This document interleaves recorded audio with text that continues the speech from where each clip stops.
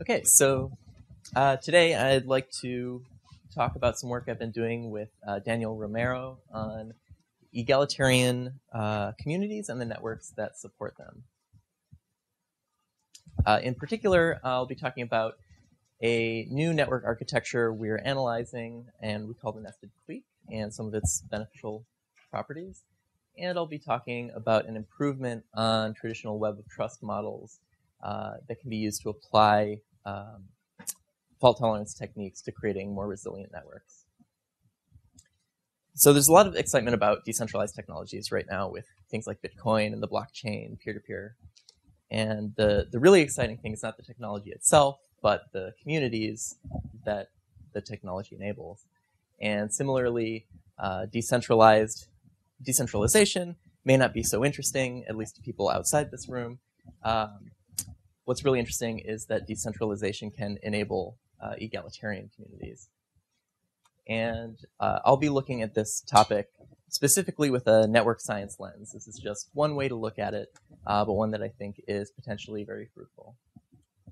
So let's start by looking at some human uh, human communities. You can start with the rugged, self-reliant individual, which is definitely not scalable and not particularly egalitarian. Now, when you think about people starting to come together into egalitarian communities, you probably think about consensus, town halls, roundtables, things like that. So those are more egalitarian, but tend not to be scalable. As the groups get large, communication becomes burdensome, and things tend to break down. On the other end of the spectrum, you have the top-down command and control hierarchies, uh, corporate, uh, traditional corporate style, uh, military style. Uh, these can be more scalable, but they're definitely not egalitarian. You've got the the CEO who has the, all the power, and the people at the bottom of the hierarchy who have little to no power. So the big question uh, that I'm hoping to work on a piece of is how can we get the best of both worlds? How can we find a way to build communities that are both scalable and egalitarian? And like I said, I'm looking at this through a network science lens. So the properties of these communities I'm focusing on are the associated underlying networks. So in the town hall where everyone talks to everyone, everyone's equal, you have a complete graph. And in the top-down hierarchy, you have a uh, tree with a root, children, and children of children, and so on and so forth. so how do we start to find networks that uh, achieve both of these things? Well, we need to understand what what the properties are in these networks that are useful. So let's start with scalability. If you want a scalable network, uh, first you have to be sparse. Uh, you can't have too many links uh, on any node. Uh, people have a limited capacity for social interactions that they can maintain. So if the uh, if the number of links on a node grows too quickly as the network grows, you'll hit you'll hit an upper limit and you won't be able to grow anymore. Similarly, the networks have to be low diameter. Uh, there's usually some type of cost associated with the uh, with the interactions in a community, whether it's time or resources. And if you have nodes that are very far apart from each other, separated by many hops, uh, adding up all those resources from all those links can become prohibitive. prohibitive. And as I said before, uh, decentralized decentralization can help create egalitarian networks. Uh, the uh, the complete graph is is definitely decentralized.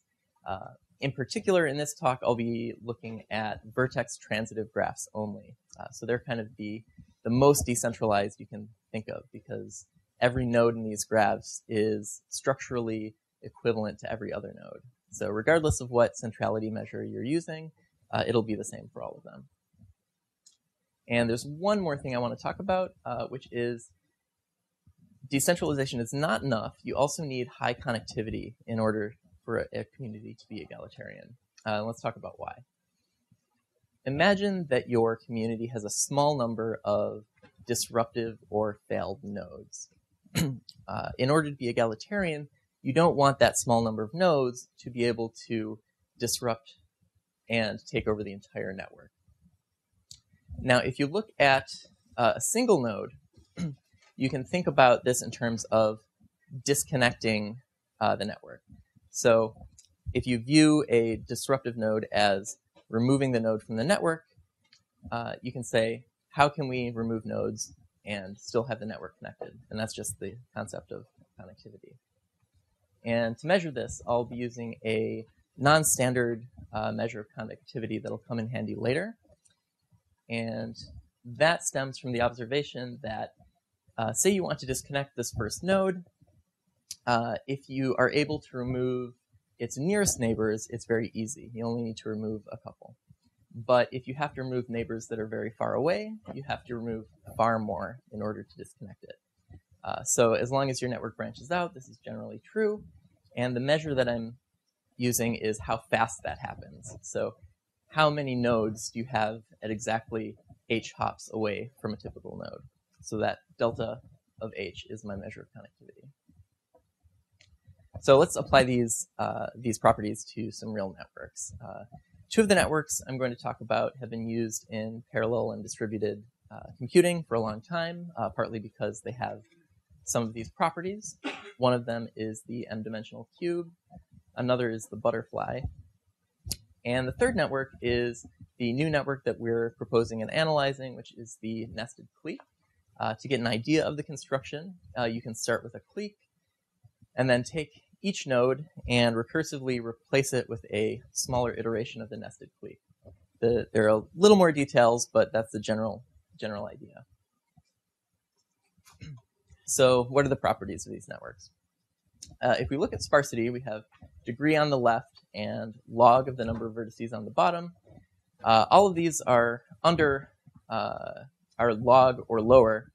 Uh, the cube here is the worst. The cube is the degree is logarithmic in the size of the network.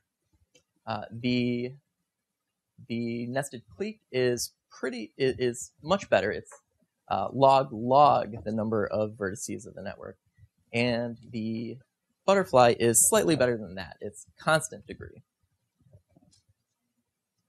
Now let's look at the diameter. Uh, all of these are roughly logarithm, logarithmic in the size of the network.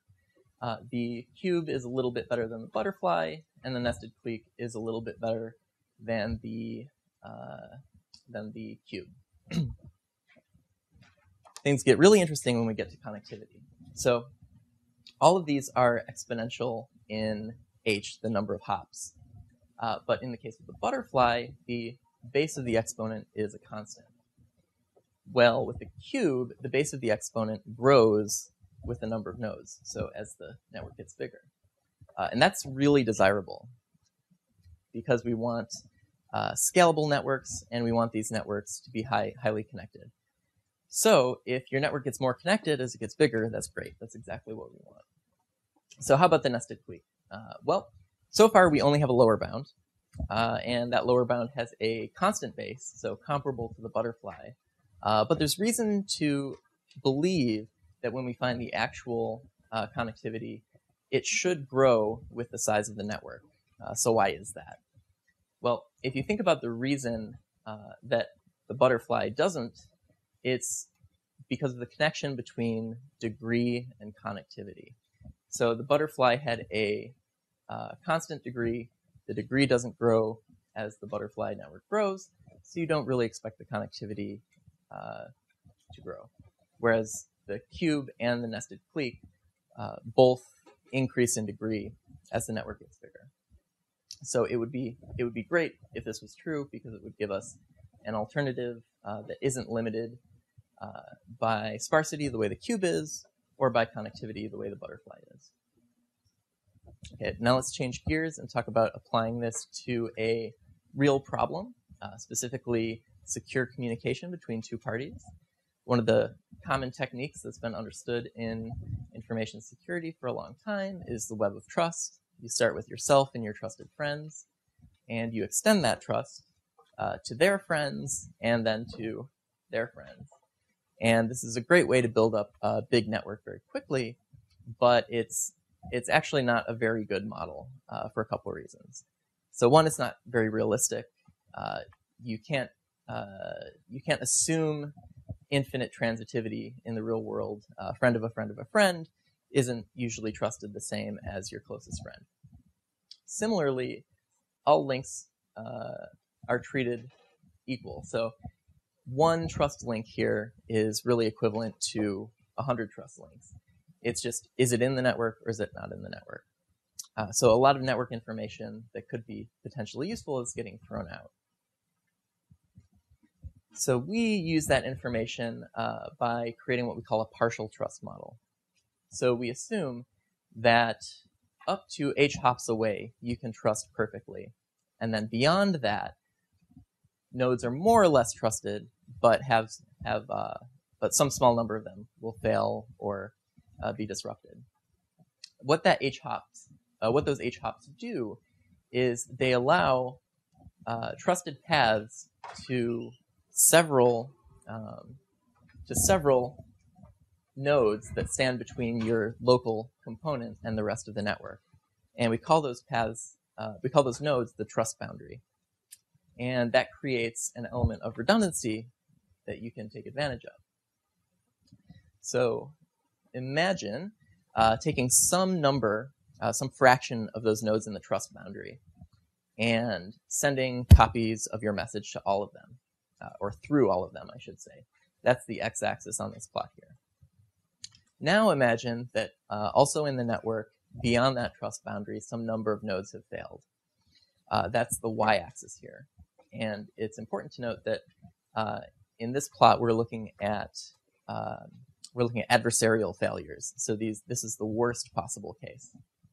Uh, random failures are much easier to deal with.